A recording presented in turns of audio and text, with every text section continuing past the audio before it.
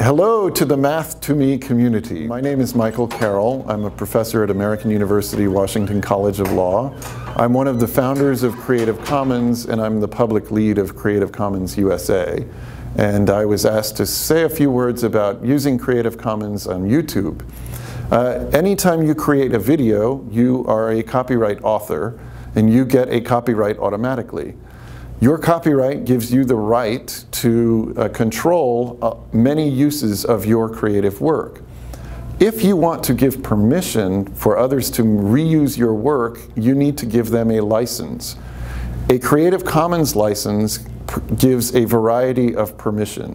You always uh, get the right to be given credit as the author, but then you can add additional restrictions like only non-commercial use or share alike. Use my content, you have to use the same license if you create new content.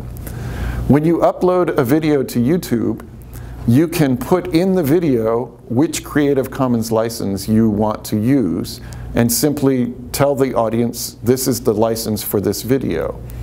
Alternatively, YouTube allows you to select the most open license, the CC BY, which says you can do anything you want with my video as long as you give me credit.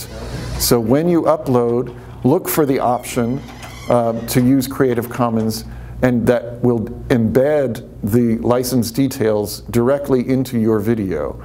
Uh, and I appreciate it when you use Creative Commons on, on YouTube and I hope you have a, a, a very good day.